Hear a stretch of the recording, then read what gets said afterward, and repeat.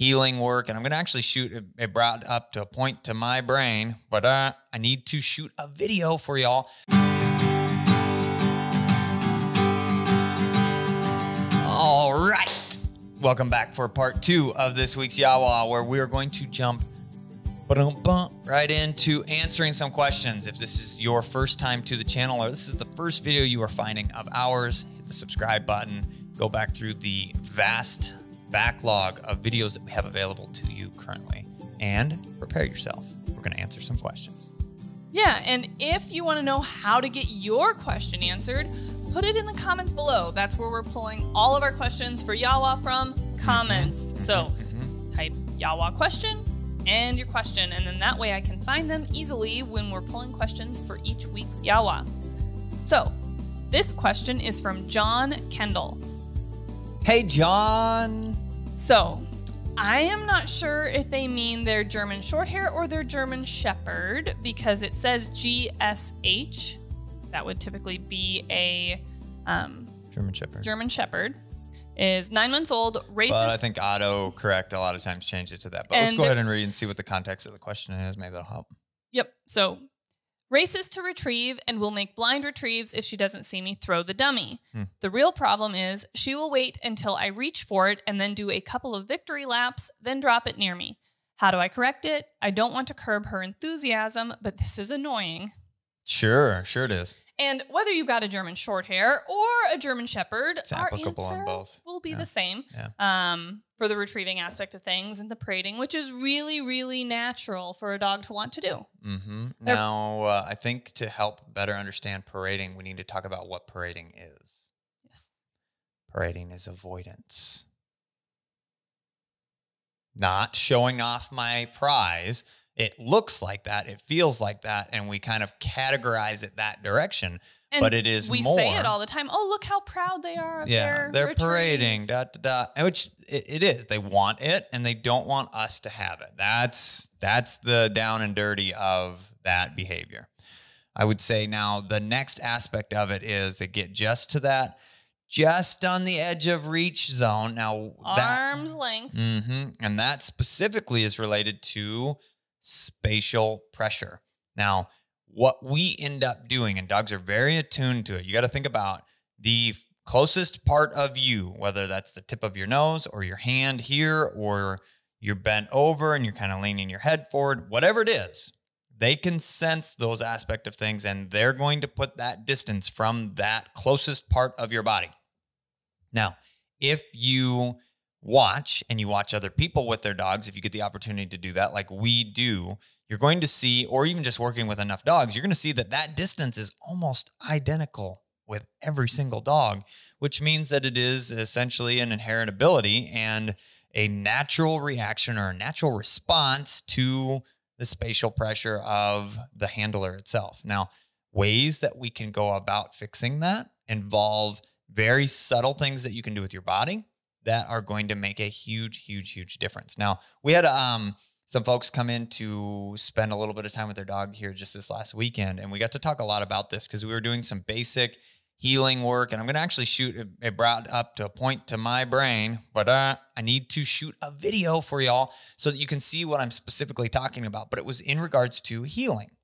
And the dogs coming back and movement of your feet and utilizing. And in that process, I recognize a thing that I kind of knew that I was doing, but that was the thing that I had to pass on the very subtle movement that I was making that I had to pass on to them to help them to be more successful handling their dog. So it's like, hand the dog to me. Everything happens essentially perfect. You make it look good. Yeah. It's, and then you hand them and they're like, I don't know. They're not doing it quite right. Well, it's a very simple thing that when I taught them, it helped dramatically and it's all spatial pressure related. So stay tuned for the video that we're going to put out here. I'll probably do later this month about spatial pressure and movement in regards to the heeling behavior itself. Now, on to this question. He's specifically talking about the dog is parading with their retrieves, staying just out of arm's reach. Now, yep. what are some ways that we can specifically help through that? So, a couple of easy tips and tricks that we typically utilize when we're developing a natural retrieve out of our puppies is um, we like to utilize tug tug of war, Mhm. where the puppy then wants to bring that object back to you to continue the game. You're creating a game. Yes, essentially Yep, you're creating a game. So they can't play tug if they don't get close enough to you to give you the object. So, So- that's a development area of things. And people always ask, well, isn't tug of war bad? I've heard that tug of war isn't a good thing to teach a puppy. Well, we're utilizing it properly and we're starting and ending the behavior and the game. yep. Sorry, I was stretching. Oh, I thought you were like leaning over to whisper something in my ear. No Um, so playing a little bit of tug, which we have some videos out there showing how to properly utilize tug, um, as well as it really. Um, we did a really good one with I thought it was Thunder. thunder. I Uh-huh. thought it was thunder. Yep, yep. Um, so doing a really good job um, utilizing that game, which then they want to hold on to it, so it builds a really nice natural hold during that retrieving process. They're not just Mhm. spitting it at your feet or dropping it and ready for the next one. Um, also, when Ethan was talking about what that parading is, it's not necessarily, oh, I'm just showing off. It's I don't want to give this object up.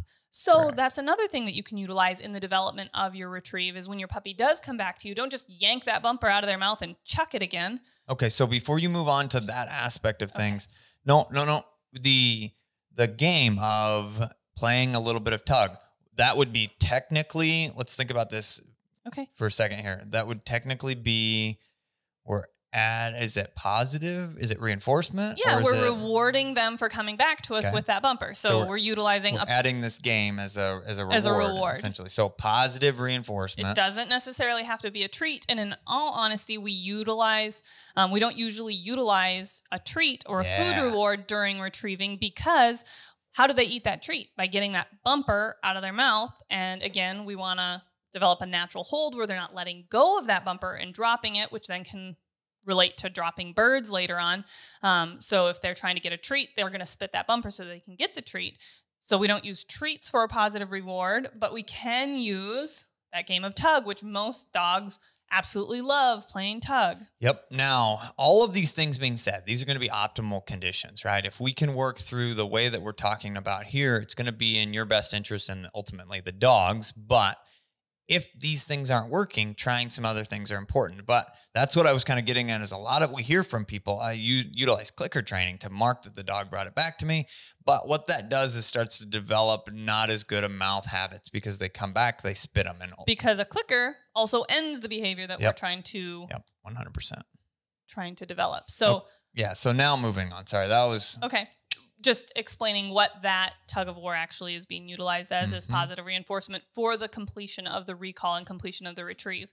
Um, so then I was talking about, oh, so praising your puppy when they come back and giving them time to hold on to that bumper and not just Yeah. ripping it out of their mouth so that they're rewarded for coming back to you and they understand that, hey, bringing it to mom and dad doesn't mean I'm just going to lose the object. I get I to hold on to it for some more time Yeah. So praising them letting them hold that bumper. Now if you start seeing any naughty habits arising like munching and rolling or then spitting the bumper you need to shorten up the amount of time that you're doing that and take it sooner so you can anticipate before those naughty habits start to arise so you can continue conditioning a nice solid non-mouthing not rolling it natural hold. So that was one other um. thing that i think you can go to just thunder's playlist babe. I was trying to figure out how to search it specifically. Like if, tug of war now this means war. Ba, ba, ba. Okay, very so- first video Yes. So if you search, if you're interested in seeing how we utilize tug as a way to develop a more natural mouth and a better natural retriever to hand, um, search standing stone tug of war. The first video that should pop up is how to play tug of war the right way with your new puppy. And we show how to develop the tug game and then incorporate standing and praise and a little micro tugs because that's going to prevent it from becoming a big issue. Not every time we have to play this big shake. Nope, just a little bit to kind of re-establish that good grip and then when we're done we can take it away. So watch that video. It shows specifically what Kat's talking about with tug.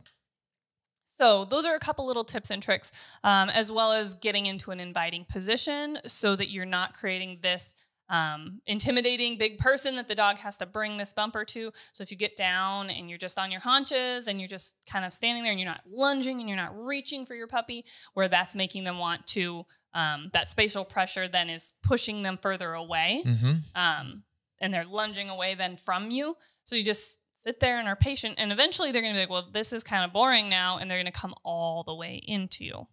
The other side of it can be moving away from them draws them in. Yeah, that Yep. was my next one. So the the again with the spatial pressure aspect I think that distance is the same. So if you start to move away from them, a they're going to move with your movement most of the time, as well as it's bringing them closer to you, not distance wise, but it's bringing their momentum to you.